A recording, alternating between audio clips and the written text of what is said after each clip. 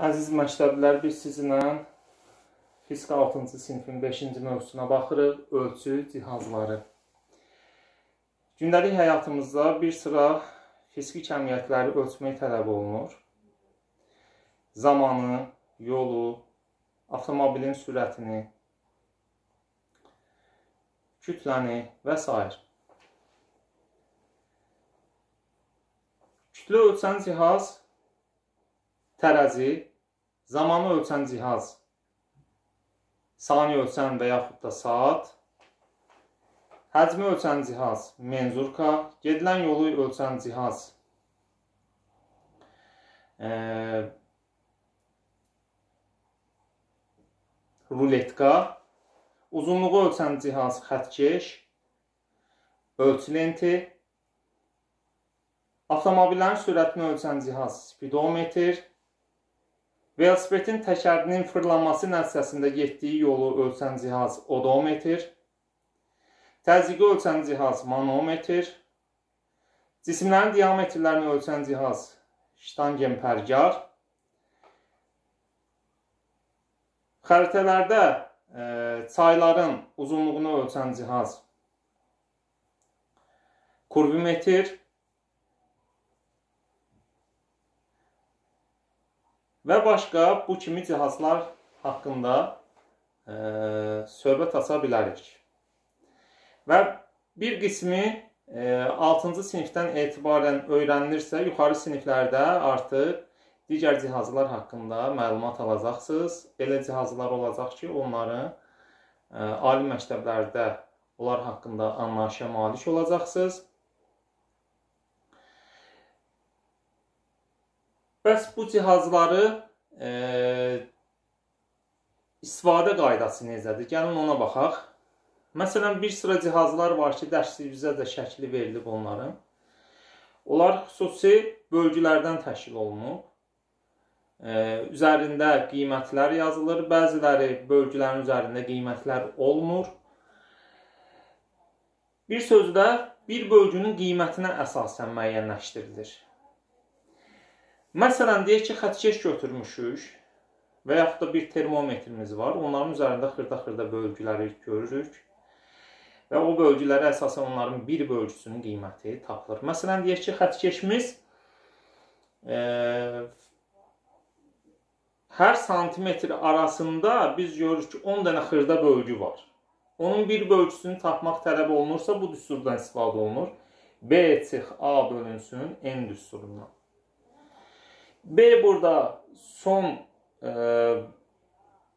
bölgü qiyməti, A əvvəlki bölgü qiyməti və N isə bu iki bölgülər arasındakı e, xırda bölgülərin sayıdır. Məsələn, deyək ki, xətkeşimiz 0-dan 1-ə qədər, yəni 1 sm aralığında və yaxud da 1-dən 2-yə qədər 1 sm aralığında 10 dənə xırda bölgü var. E, 2-dən 1-i çıxırıq, bölürük, o xırda bölgülərin sayını 10-a tapırıq ki, 0.1 sm. Yəni o da e, bizə riyazi hesablamalarımıza görə 1 mm verir. Çünki biz bilirik ki, 1 santimetrimiz 10 mm-dir. 10 xırda bölgümüz hər biri 1 mm ifadə edir. Mütləq xətası isə cihazın bir bölgüsünün qiymətinin yarısıdır. E0 bölünsün 2 kimi qeydlədim. E, kitablarda, dərsliklərdə B çıx A bölünsün 2N kimi qeyd olunur. Sizin dərsliyinizdə e, nisbi xəta anlayışı olmasa da, onu da qeydləmişəm burada. Beta bərabər delta L bölünsün L vurulsun 100%-dir. E, yəni cihazın mütləq xətasının onun cihazın uzunluğuna olan nisbətinin faizlə ifadəsi deməkdir. Fikir verin, burada e, cihazın bir bölgüsünün qiymətindən mütləq xətasının qiyməti xətkeşin uzunluğundan asılı olmayaraq dəyişmir, yəni. Yəni asılı olaraq dəyişmir. Yəni e, xətkeşimiz 10 sm-lik də ola bilər, 20 sm-lik də, 40 sm-lik də ola bilər. Fərq eləmir. E, hər cür xətkeşin bir bölgüsünün qiyməti 1 mm-ə bərabərdir. Onun mütləq xətası isə 0.5 mm-dir. Amma nisbi xətası isə cihazın uzunluğuna görə dəyişir. Yəni xətkeşin uzunluğuna görə. Mütləq xətanı, yəni 0 onda 5 mm vururuq 100%-ə bölürük. Deyək ki, 40 sm-lik xətt keçmişsə 40 sm-ə. Cavabı ya millimetrə görə, ya da santimetrə görə tapırıq. E, indi isə sizinlə e, mövzuna bağlı e, tapşırıqlara baxırıq. Mövzumuz mövzumuzun tapşırıqlarından öyrəndiklərinizi tətbiq edinə baxırıq. Səhifə 29-da e, qeyd edək ki, dərsliyimiz e, 2011-in 2015-ci ilin nəşridir. Ola bilər sizin yeni nəşr kitabınızla bu dərslik məsələ həllərinin yeri fərq etmiş olsun.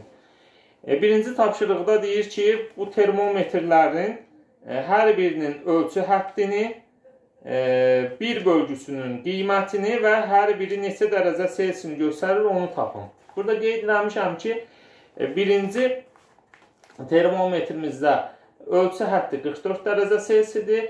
E, bir bölgüsünün qiyməti 1 dərəcə Selsidir e, və e, göstəricisi isə 26 dərəcə Selsidir. Biz baxırıq ki, buradan 0-dan 10-acan bu xırda bölgülər hər biri 1 dərəcəni ifadə edib deyənə 0-dan yuxarıya doğru sayırıq. 1, 2, 3, 4, 5, 6, 7, 8, 9, 10.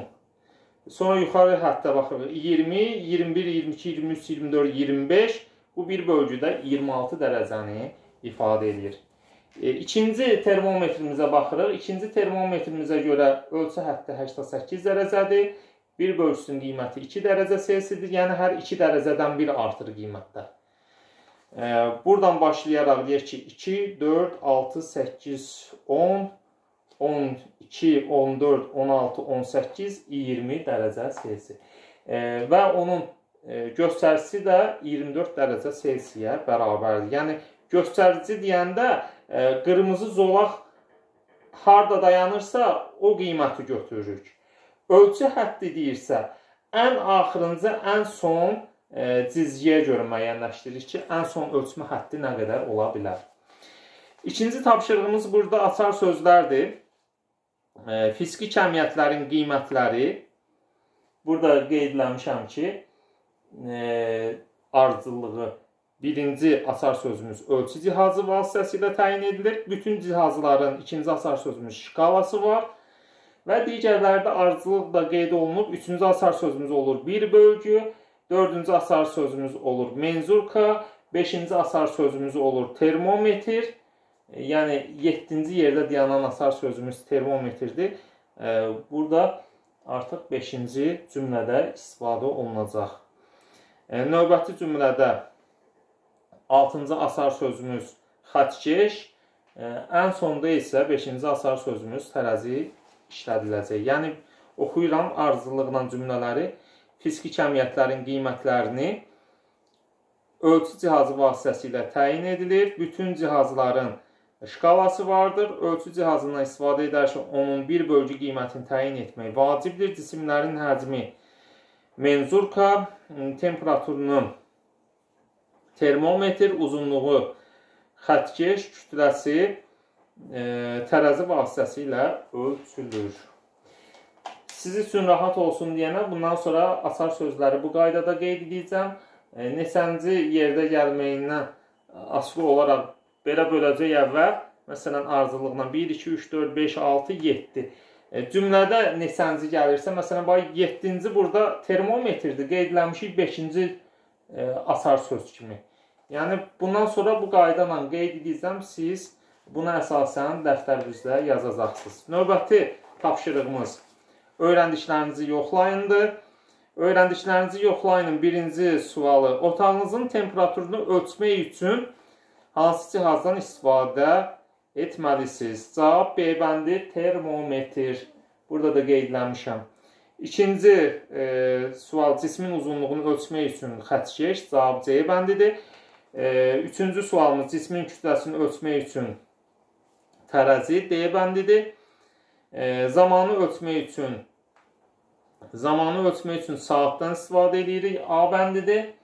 Və sonuncu sualımız həcmi ölçmək üçün e, menzurkadan istifadə edirik. O da Y bəndidir.